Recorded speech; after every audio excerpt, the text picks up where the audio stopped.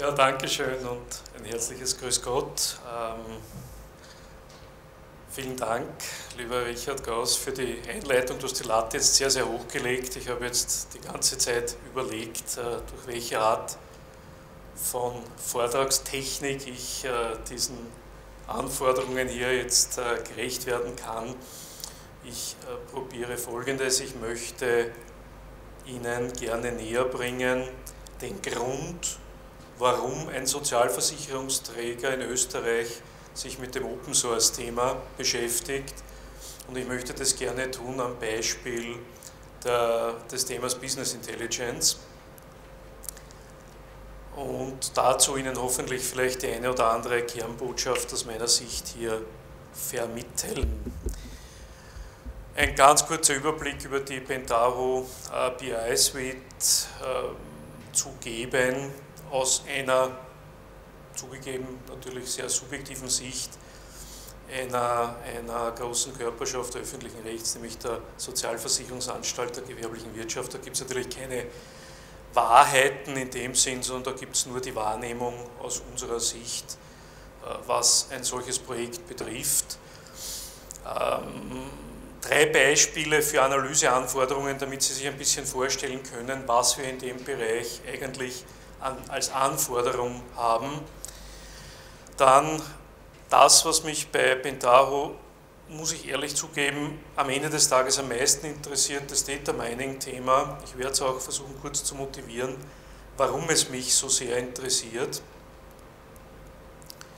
Und schlussendlich, äh, wie weit sind wir eigentlich? Wir sind natürlich längst nicht so weit beim Einsatz dieser Werkzeuge, wie wir gerne wären. Und ein kurzer Überblick, wie weit wir gekommen sind bei diesem Projekt bisher. Warum macht eine Sozialversicherung Business Intelligence? Man könnte es umgekehrt sagen, würden wir das nicht tun, dann wäre es nicht sehr businesslike und schon gar nicht intelligent. Wir haben derzeit ein Gebarensvolumen von 3,8 Milliarden Euro jährlich. Das heißt, wenn man bei einer derartigen Gebarung keine Business Intelligence hat, dann hat man ein Problem. Das ist keine Frage. Uh, ungefähr zwei Drittel davon, ganz grob, entfällt auf die, auf die Leistungen der Pensionsversicherung für unsere, für unsere Gewerbepensionisten und ganz grob ein Drittel äh, bringen wir auf für die Krankenversicherung im Leistungsbereich der Aktiven und auch natürlich unserer Pensionisten. Das heißt, in Summe bewegen wir da einiges an Euros und genau das ist auch die Motivation, uns mit diesen Themen verstärkt auseinanderzusetzen. Das ist relativ klar. Äh, was vielleicht die, die, die Frage ist, die nicht so auf den ersten Blick beantwortbar ist, warum Open Source? Was ist der Hintergrund?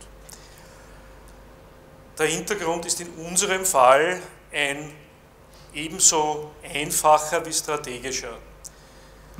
Wir haben als gesamte Sozialversicherung sehr schlechte Erfahrungen gemacht mit Abhängigkeiten. Mit Abhängigkeiten von Lieferanten, mit Abhängigkeiten von Produkten.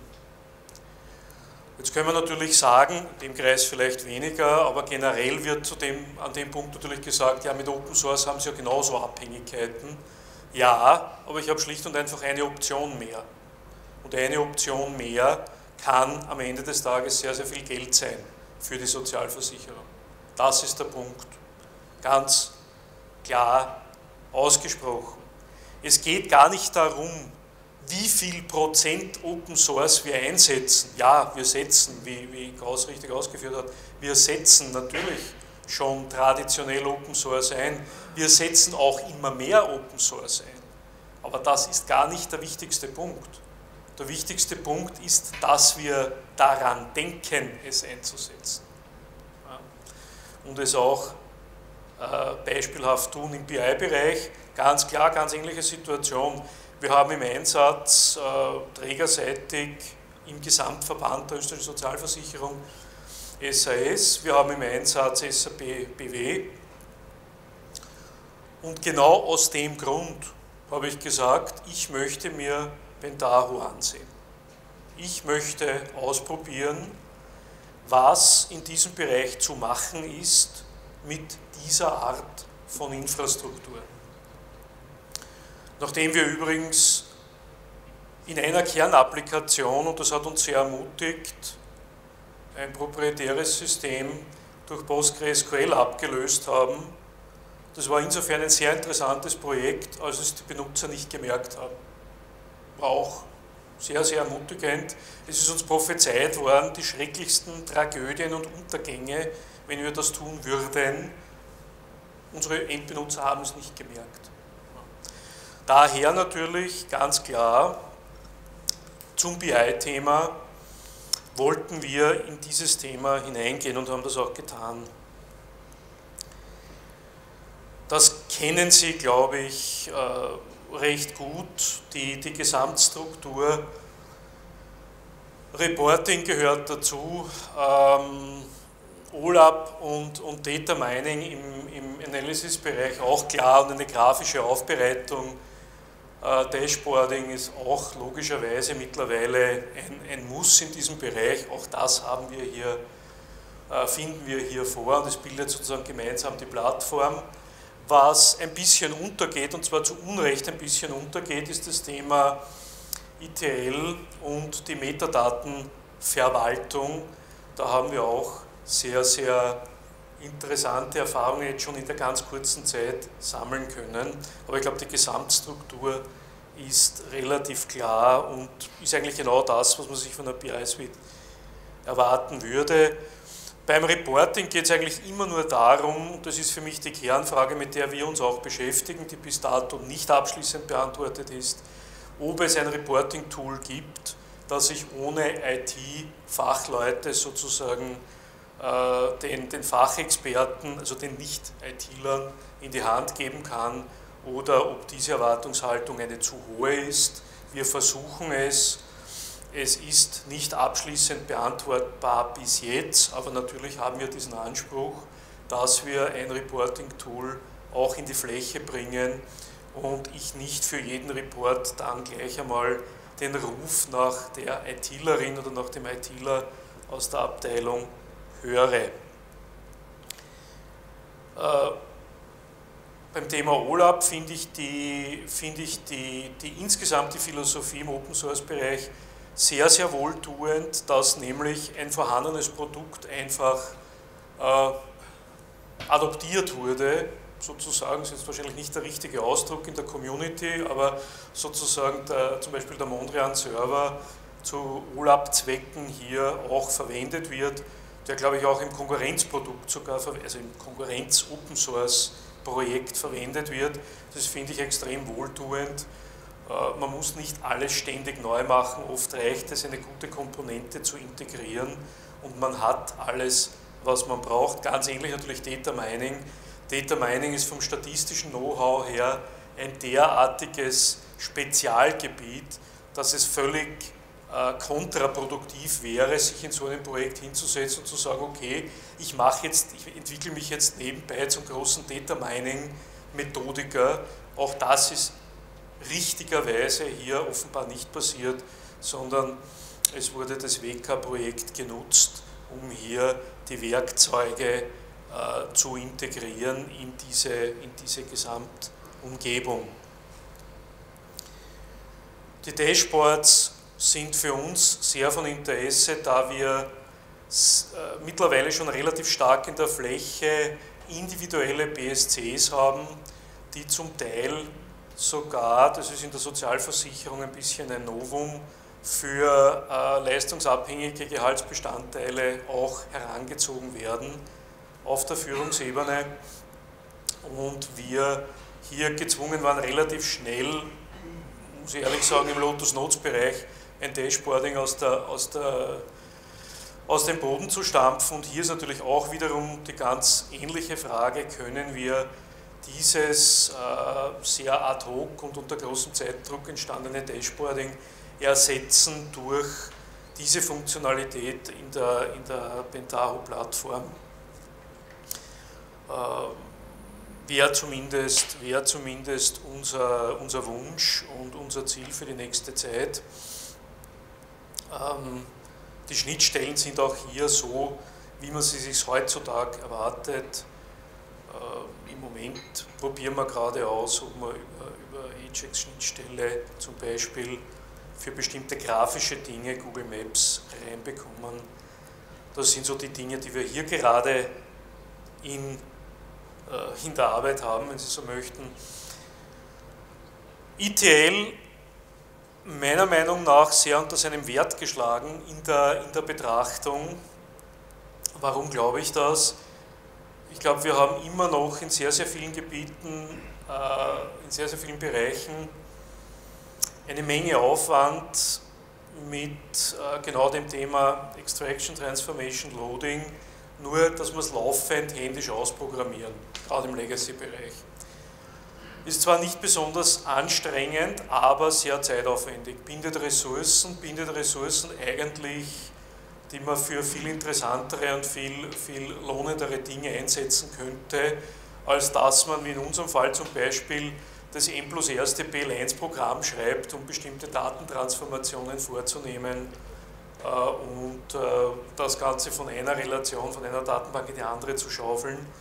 Das heißt, für uns zum Beispiel in unserer Situation, ist natürlich abhängig von der Organisationsstruktur, aber in unserer Situation ist ein vergleichsweise unsexy Thema wie ETL äh, von großem Interesse, weil wir uns schlicht und ergreifend damit äh, den Ressourceneinsatz äh, relativ schmerzfrei optimieren können.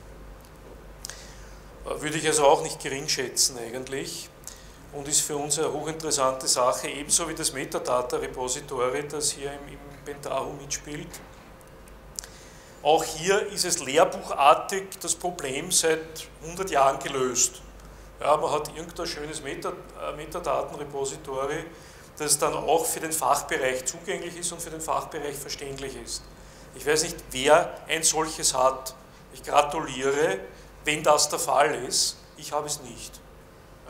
Natürlich haben wir Data Dictionaries, wir haben sehr, sehr viel technisches Material zu den Metadaten, aber das bringe ich alles nicht in die Fläche, das ist alles nicht verständlich für die Nicht-ITler.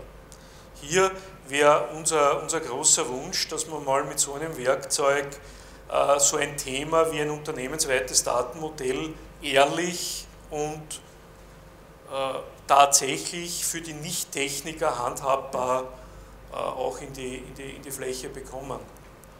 Auch nicht von der Theorie her nicht der, der Big Deal, aber für uns ist es ein absolut wichtiges und, und äh, zentrales Thema, dass einmal unsere Fachleute, nämlich unsere Nicht-IT-Fachleute, wissen, was wir alles an Datenstrukturen mittlerweile zugreifbar haben.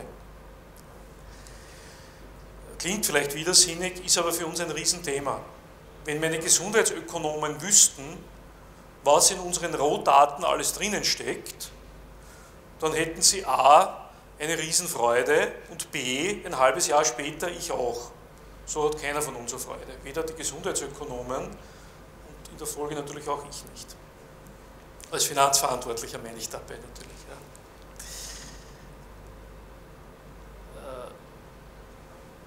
Drei Beispiele. Heilmittelabrechnung. Wir bekommen natürlich sowohl von den öffentlichen Apotheken als auch von den Hausapotheken, also jene Bereiche, wo die Ärzte im eigenen Bereich dann Medikamente abgeben, äh, monatlich Daten rein. Und diese Daten schwanken. Das ist beobachtbar. Ja, es gibt verschiedene Erklärungsmodelle, die sind alle relativ unwissenschaftlich bis jetzt das plausibelste ist, die Daten schwanken am stärksten mit der Anzahl der Arbeitstage im Monat. Ja, das ist wahrscheinlich ein, ein Einflussfaktor, aber sicherlich nicht der einzige.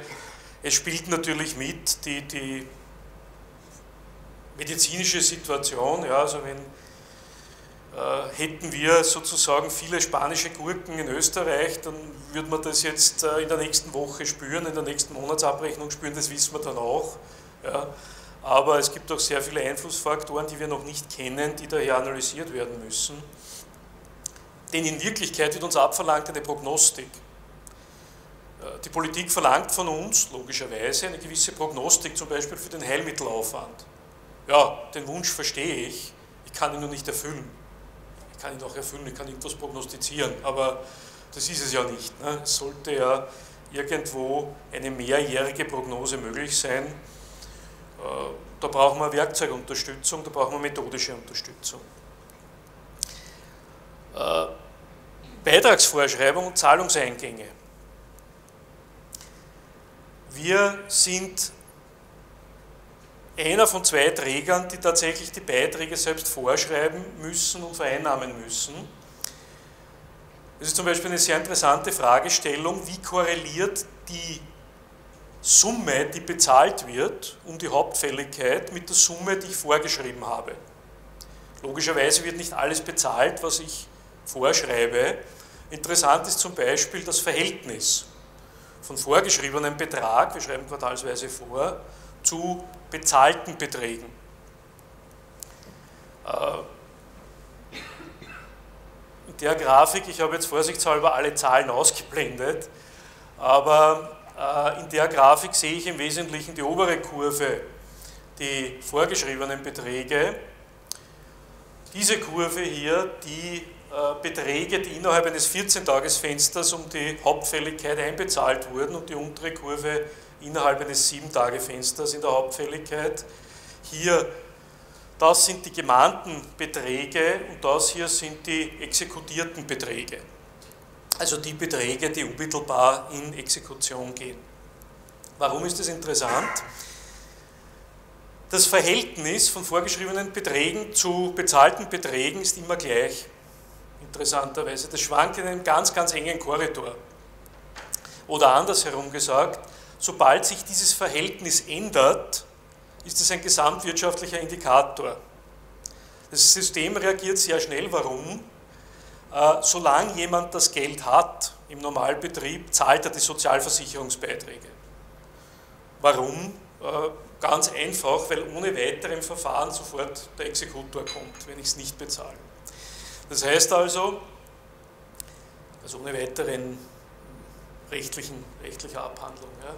Das heißt, ich erkenne an diesen Verhältniszahlen, und deswegen wird das sehr, sehr genau beobachtet bei uns und wird auch einer, einer tieferen Analyse zugeführt, relativ schnell, wie wir insgesamt vom, vom Gesamtgeschäft her liegen. Äh, hier, das, das täuscht natürlich, also hier ist einfach noch der äh, Exekutionsstichtag nicht gewesen zu dem Zeitpunkt, wo das ausgewertet ist. Also das heißt, die Kurve geht hier irgendwo ein bisschen weiter. Also Beitragsvorschreibungen, Beitragseinnahmen korrelieren sehr stark, interessanterweise in diesem Korridor da unten, also ungefähr beim Faktor von 1,3 unabhängig vom Betrag. Ja. Das eine waren 440 Millionen, das andere waren 550 Millionen. Das Verhältnis vorgeschrieben zu bezahlt bleibt gleich. Ganz interessant aus meiner Sicht, aus der, aus der betriebswirtschaftlichen Sicht. Transportkosten, wir liegen relativ hoch bei den Transportkosten. Der Hauptverband fragt uns und auch das Ministerium fragt uns natürlich, warum liegt ihr so hoch bei den Transportkosten? Gute Frage. Das heißt, es ist nicht nur das Eigeninteresse, die eigene Neugierde und die eigene Planung, wir werden selbstverständlich von den Stellen, die uns in der Sozialversicherung äh, freundlich ausgedrückt begleiten, äh, zunehmend auch gefragt, warum sich das System so verhält, wie es sich verhält. Eine Riesenherausforderung von der Analytik her, eine Riesenherausforderung von der Datenanalyse und natürlich auch von der zugrunde liegenden Werkzeugsituation. Äh, darum beschäftigen wir uns sehr intensiv und daher ist es für uns sehr interessant, so etwas wie Pentaho verstärkt einzusetzen. Data Mining, Erforschung, Analyse großer Datenmengen, die haben wir, mit automatischen oder semiautomatischen Werkzeugen. Um, und das ist jetzt eigentlich das Wort, wo der Mensch mitspielt, bedeutungsvolle Muster und Regeln aufzufinden. Wenn Sie bedeutungsvoll streichen, sind Sie im reinen Softwarebereich, sind Sie im rein algorithmischen Bereich. Bedeutungsvoll kann Ihnen kein Algorithmus der Welt abnehmen, die nächsten 100 Jahre. Also das heißt, ganz zum Ende, und das ist für uns der enorm spannende Bereich, dort wo es ums Wissen geht, dort muss letztlich der Mensch eingreifen. Ansonsten ist natürlich das Auffinden der Zusammenhänge im Data Mining Prozess algorithmisierbar aus der Statistik heraus. Warum glaube ich daran? Warum bin ich davon überzeugt, dass das für die, zum Beispiel für die Sozialversicherung, aber für alle Leute, die sich irgendwo mit, mit solchen Makrozusammenhängen beschäftigen, ein zentrales Thema wird? Oder die umgekehrte Frage, was habe ich gegen statistische Hypothesentests? Gar nichts. Der einzige Nachteil an der, an der Testtheorie, an der statistischen Testtheorie aus meiner Sicht und aus meiner beruflichen Erfahrung ist, ich brauche eine Hypothese. Ja, so, so widersinnig das klingt. Das ganze Instrumentarium des, des, der, der Hypothesentests erfordert eine Hypothese. Und das klingt in der Theorie ganz einfach. Natürlich habe ich eine Hypothese. In der Praxis ist die Frage, bei den Zahlenfriedhöfen, die wir haben, woher bekomme ich das Rohmaterial, woher bekomme ich die Zusammenhänge, woher bekomme ich die Vermutungen. Und da bin ich genau beim Data Mining. Und deswegen verfolgen wir das sehr stark und deswegen erwarten wir uns sehr viel, auch im Rahmen der, der Pentaho BI Suite hier äh, für unsere Arbeit der nächsten zehn Jahre.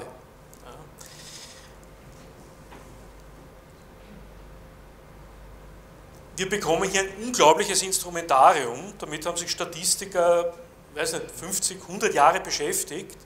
Wir bekommen dieses Instrumentarium gratis. Das ist unglaublich. Also das ist unbezahlbar. Natürlich, Sie haben, schon, Sie haben schon recht, ich muss natürlich meine Mitarbeiterinnen, meine Mitarbeiter damit befassen, die müssen auf das ausgebildet werden, ich muss investieren ins Humankapital, keine Frage.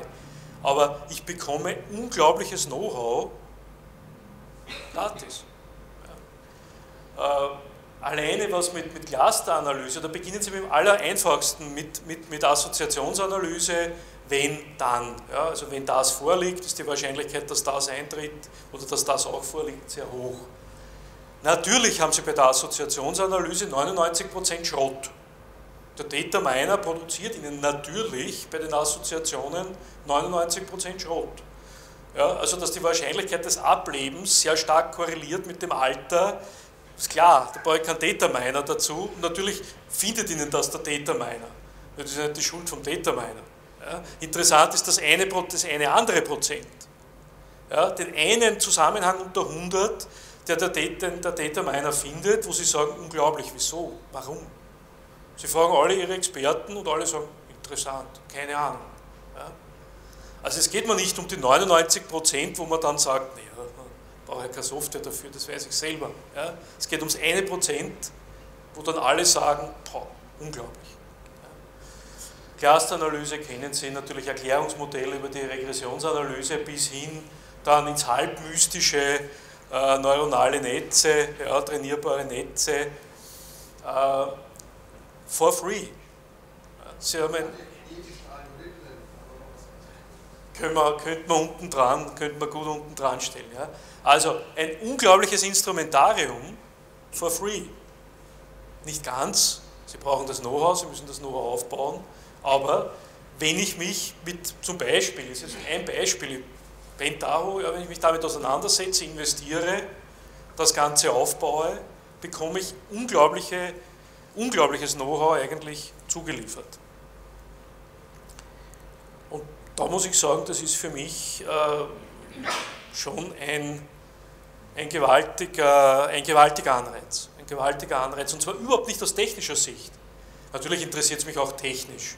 Natürlich hängt mein Herz auch an, der ganzen, äh, an dem ganzen Umfeld und das ist alles hochinteressant, aber am Schluss sind das Dinge, die wir hier bekommen in einem zentralen Umfeld unserer, unserer, ganzen, unserer ganzen Gesellschaft, zum Beispiel der Sozialversicherung, ohne dass wir hier noch einmal überhaupt das Rad von neuem erfinden müssen. Wie weit sind wir gekommen? Im Reporting sind wir jeweils im, im uh, Proof of Concept, das heißt, das funktioniert natürlich. Na klar, das, das, war nicht sehr überraschend. Davon ist auszugehen, dass so ein Ding ein zeitgemäßes uh, Reporting-Tool hat. wie gesagt, große Frage für uns und spannende Frage für uns, wie weit kann ich das an Nicht-Techniker ausrollen? Da sind wir selbstverständlich noch am Arbeiten. Äh, die Analytik, die für uns natürlich auf der, auf der Finanzebene und auf der Fachebene ganz, ganz spannend und ganz, ganz interessant ist, sind wir im Test. Ja, äh, da sind wir noch nicht wirklich im, im, im Fachbereich im Proof of Concept. Gleiches gilt aus Ressourcengründen in erster Linie, muss ich, muss ich ehrlich sagen, für das Dashboarding, für den Dashboard-Modul, wo wir aus einer gewissen technischen, so einem gewissen technischen Eigeninteresse heraus recht weit gekommen sind äh, im Bereich ETL und äh, Metadata Repository. Ähm, die Techniker sind natürlich wie überall mit knappen Ressourcen bestückt, das heißt, Themen, die, wo auch die Techniker sagen, ja, das ist eigentlich auch für uns gar nicht so unspannend, die gehen noch eine Spur besser, sage ich einmal, als Themen, äh, wo die Finanzleute oder die Fachbereichsleute sagen, ja, das brauchen wir unbedingt. Also logischerweise, und das sieht man auch hier an den grünen und gelben Markierungen sehr deutlich, am besten gehen die Themen, die beide Bereiche interessieren und das ist auch in der österreichischen Sozialversicherung nicht anders. Ich erwarte mir von solchen Werkzeugen inhaltlich sehr viel aus den genannten Gründen. Es ist nicht mehr möglich, in Anbetracht der, der Datenmenge klassisch vorzugehen. Man wird nicht fertig. Ja? Also sich zu überlegen, was könnte denn sein, dann ein kleines Programm zu fabrizieren, das irgendwelche Rohdaten extrahiert und dann irgendwo einen netten Statistikmodul drauf anzusetzen, es geht nicht mehr. Ja. Also das sind Glückstreffer, die man da landen, das gibt es auch immer wieder, aber das sind Glückstreffer. Systematisch, und das ist meine, meine absolute Überzeugung, geht der Weg über solche Mining-Werkzeuge, um einmal diesen ersten Schritt, man wird von den eigenen Rohdaten erschlagen, einmal zu beheben. Ja. Und zweitens, die, die IT-strategische Komponente bei dem Ganzen, die ich zu Beginn angesprochen habe, ist der zweite große äh, Benefit, den wir, den wir aus dem, aus, der, aus dem Open Source-Thema ziehen. Jede Alternative für uns ist gut. Wir sind nicht ideologische Open Source Verfechter. Warum sollten wir? Wir sind Verfechter von Alternativen, schlicht und einfach deswegen, weil wir mit Alternativenlosigkeit schlechte Erfahrungen gemacht haben. Nicht nur wir, auch andere, aber die Sozialversicherung hat da natürlich schon einige Erlebnisse gehabt, was das bedeutet, wenn Sie genau einen Lieferanten haben äh, und Sie sich dann überlegen können, ja, riskiere ich es, zwei Millionen Pensionen auszuzahlen oder nicht. Ich darf Ihnen eines versichern, Sie werden es nicht riskieren. Und ich darf Ihnen auch versichern, Ihr Lieferant weiß das. So, jetzt können Sie sich ungefähr vorstellen, wie Sie in so einer Situation verhandeln. Gar nicht. Und daher ist Open Source neben anderen Alternativen für die österreichische Sozialversicherung ein zutiefst strategisches Thema. Deswegen beschäftigen wir uns damit. Deswegen ist es für uns von größtem Interesse, weil es eine weitere Alternative zu allen von uns ebenso geschätzten, wertgeschätzten Partnern in der Zulieferkette darstellt. Also, selbst wenn ich jetzt innerlich zutiefst überzeugt wäre, dass Open Source sozusagen ideologisch richtig wäre, könnte ich es jetzt auch nicht sagen, als jemand aus der österreichischen Sozialversicherung. Ich darf aber sehr wohl sagen, dass jede vernünftige Alternative für die österreichische Sozialversicherung im Bereich dieser Systeme eine wichtige Alternative darstellt. Und genau deswegen tun wir das auch, was wir hier tun. Ich darf mich für Ihre Aufmerksamkeit sehr bedanken.